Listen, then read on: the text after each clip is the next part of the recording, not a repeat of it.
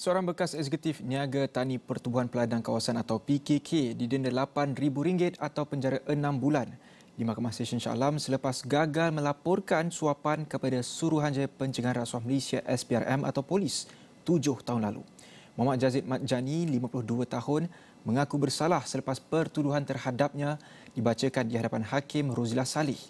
Mengikut pertuduhan, dia sebagai eksekutif niaga tani di Kelang ketika itu telah diberikan suapan cek tunai berjumlah RM5,000 yang telah ditunaikannya daripada seorang lelaki berusia 55 tahun sebagai dorongan membantu sebuah syarikat mendapatkan kerja pembekalan baja cecair organik sebanyak 5,000 liter bagi input pertanian PKK daerah itu bernilai RM143,100.